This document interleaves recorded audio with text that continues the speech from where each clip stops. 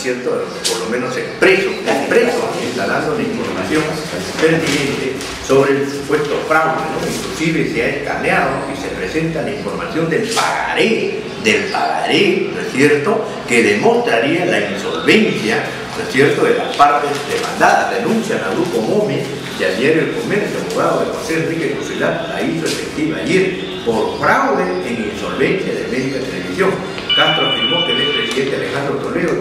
Denunciado por este caso, pero ante el Congreso de la República en su calidad más, magistrado. Toledo presionó, dice, al banco, eh, dice Sudamérica, ¿no es cierto?, para eh, la compra de este, eh, supuestamente compra o venta irregular, que es muy grave, ¿no? porque lo que, lo que afirma Castro es de que Marisol Crucilat habría firmado un pagaré en blanco al Banco Vice y que el Banco Vice habría rellenado ese pagaré.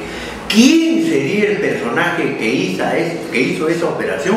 Acusa directamente a Gonzalo de, de las Casas, que en ese tiempo era abogado externo del Banco Vice que al, tener acceso, ¿no cierto?, al banco, por amistades o qué sé yo, sacaría ese pagaré, lógicamente, y luego se utilizaría para supuestamente demostrar la insolvencia, que no era tal, según Crucilat Padre, ¿no? que era 18 millones de dólares, sin embargo la han inflado a 223 millones de dólares. Y Gonzalo de las Casas, ¿no es cierto?, quien sería acusado de esta tramoya del pagaré, es el ahora actual presidente de la Junta de Acreedores de Canal 4.